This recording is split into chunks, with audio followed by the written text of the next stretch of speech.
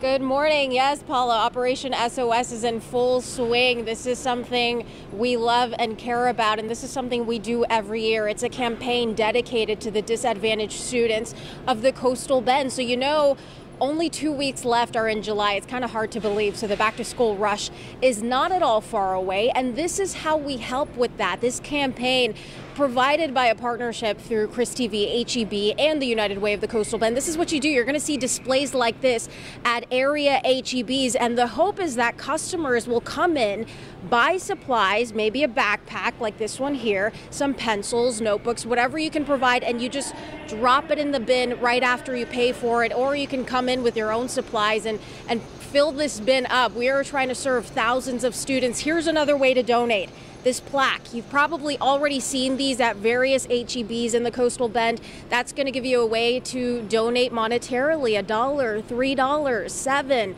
whatever you can. Again, this is for coastal bend students who would otherwise go without school supplies this school year. This partnership between United Way, KRIS TV, and HEB goes decades back. We're talking about over 20 years this campaign was started by the United Way and guess what you're going to hear from a United Way representative in our next half hour to talk about which school districts actually benefit from Operation SOS. I'm Sarah Pizarro for 6 Sunrise.